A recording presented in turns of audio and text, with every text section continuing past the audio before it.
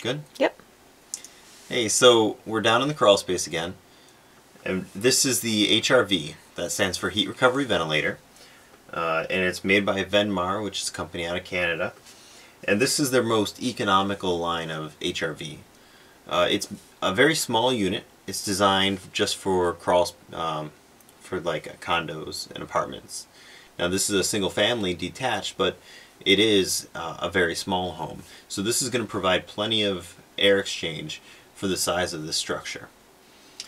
Uh, basically, we hung it from the floor joist uh, using chains, and then each chain we took up some slack and put in a spring.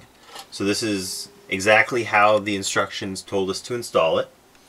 Uh, it came with the screws, so these are longwood screws for, for this application.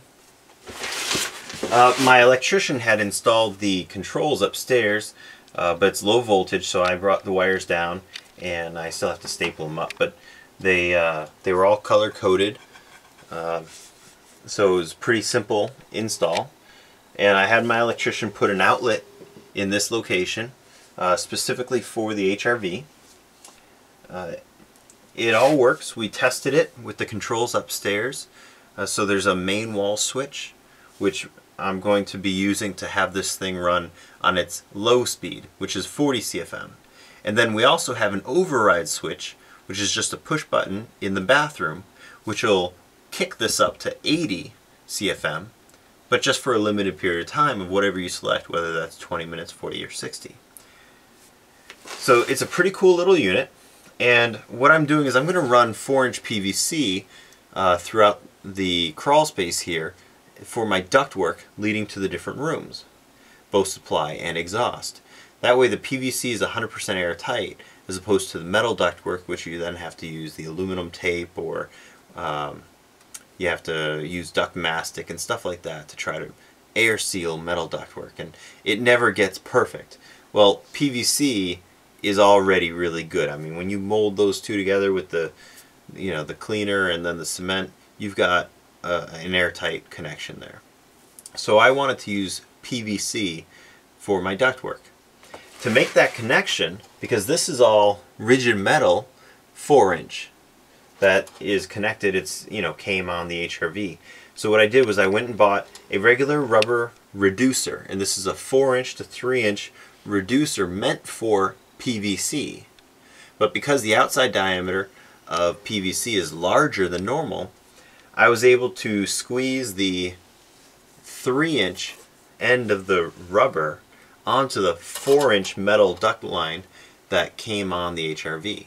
Took a little bit of effort, but it's not like I had to go and crimp the metal or disfigure it in any way. It just took a little bit of strength and then it, it went on and now i am going to have the rubber making this uh, isolation for the vibrations and that's great uh, and it also is another way of making something pretty near airtight with these connectors.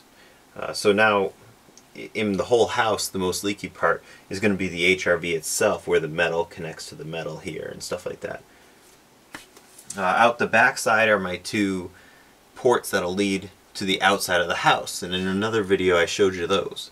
So nothing's hooked up yet but I'm going to have the supply of fresh air and the exhaust of stale air out this side. So it's facing the wall so that those runs are as short as possible because I'm going to have to insulate those runs. Once they're past the core, the heat exchanger, they've become tempered. So I don't have to insulate any of the PVC pipes inside the crawl space. I'm not worried about condensate on any of those. Speaking of condensate, there's going to be condensate coming out of this unit. It has a built-in pan inside and then out the bottom, uh, there's a port, and it, the HRV comes with this clear tubing.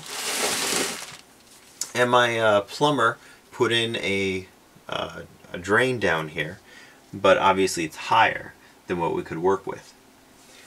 Uh, so the solution is to run a uh, small reservoir with a, a float switch uh, pump, and it's just a very standard off-the-shelf item. Uh, anybody can go and buy any HVAC contractors familiar with how they work, where to, where to get them. So it's going to have a small reservoir, probably a quart size or so, where the condensate will drain, and then whenever that fills up, the little pump will kick on and pump the condensate over to the P-trap. And then that so now I'll show you the inside of the unit. You just loosen these two screws at the bottom and then fold it up, lift it off. And this is all a thick rubber right here, so it creates a gasket. And then inside, uh, you can see it's a it's a plastic core, uh, and it's it's very thin plastic, and that's what allows the heat to transfer between the two airstreams. The blue felt up here, these are just filters for the two airstreams when they come through. And they pass through in opposite directions and then go out this direction towards the rear of the contraction, um, sorry, the, the unit here, the HRV. And in the rear is where the fan is. So they get sucked into the fan and then blown out the backsides. So the backside ports are always leading out of the unit and the front ports are always leading into the unit. And this black plastic down here, this is the condensate tray that I mentioned. Um, so from both sides, it can drain down. Uh, but the two airstreams never mix, and that's what part of this gasket's about, so that it seals um, across the whole unit and to its edges.